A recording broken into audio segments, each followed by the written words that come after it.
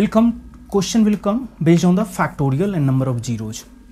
Just I told you after every interval of 5 number of 0 will change by 1 after inter if that multiple of 5 is a multiple of uh, 5 square then number of 0 will jump by 2 if it is a multiple of 5 to the power q number of 0 will change by 3 if it is 5 to the power 4 number of 0 will jump by 4 this we know. But just suppose that multiple of 5 what is the that juncture that is 5k or 25k or 125k or whatever is there. If that we are converting in the form of variable we are not expressing in the form of numbers what will happen? Question will become much predictable. Means so many possibility will come and you have to predict very carefully. You have to predict very carefully. Just try same thing i have done here this question. Everything i convert in variable everything. You will not find anything in concrete number in this question. And for analysis purpose solving this type of question it is much much needed for your CAT preparation. Just for solving because it is a learning. It is a learning. It will give you a lot of understanding how number behaving. N1 factorial has z1 zeros at the end. N2 factorial has z2 zero at the end. If n2 minus n1 is between 1 to 12 if n2 minus n1 is 1 to 12 means it will be minimum 1 and maximum 12 this difference then the range of z what is z z2 minus z1 where n1 and n2 are four digit number after reading one time this question कुछ पल्ले नहीं पड़ेगा you will not able to understand what to do कुछ दिया ही नहीं है number nothing is given only thing is given n2 minus n1 that difference is between 1 to 12 beyond that nothing is given. How to start analysis? Only one clue is given. N1 and n2 are four digit number. Only one clue n1 and n2 are four digit number. Means from here just will think if it is a four digit number then just will think in the line of power of 5 why?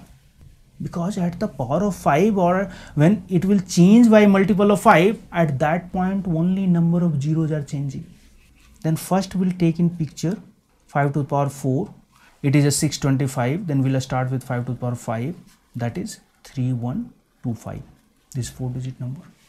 Means number we can take nearby somewhere here. Somewhere near to this number we can take. This is four digit number. Correct? 5 to the power 5 equal to 3125 now afterwards another condition is given this difference between these two number cannot go beyond 12 if it is not going beyond 12 then how many option you have? Multiple option you have. And based on that you have to decide the range of z now just we'll try to make it as tabular format for understanding purpose. Just to take n1 equal to 3120 and n2 equal to 3124 just suppose. Don't calculate number of zeros again here if you start to calculate number of zero then you will be trapped in problem. You will face lot of calculation. Just suppose number of zero is n. We are not interested what is the value of n. But number of zeros are n. If number is n1 is 3120 and n2 is 3124 if n1 is 3125 n2 is 3129 and what will happen?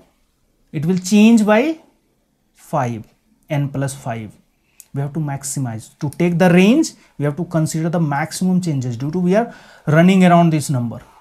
Because this is a 5 to the power 5 if ordinary number will be there it is multiple of 5 then it will change by only one zero. If it is a multiple of 5 to the power 5 it will change by 5 due to we are running this number. We can't take 5 to the power 6 because it will be, it will it will not a four digit number due to we are stick on this number around this only maximum change we will able to get it. For minimum there is no problem.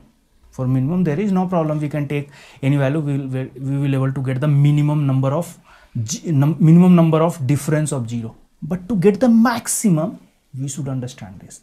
3125 just it will go from 24 to 3124 to 3125 number of zero will jump by 5 3130 again it will jump by 1 because this is just multiple of 5 it is not multiple of any square or something. Again 3135 3140 it will jump by 1 one thing we can say this maximum jump can be 7 if difference we are taking here maximum di difference how much can be? 3120 to 3140 means total range is 20 this range if we can just trim it like this way 3124 to 3136 difference is 12 and number of 0 can jump by 7 then range can be 0 to 7 this is difference of zeros of factorial n1 and factorial n2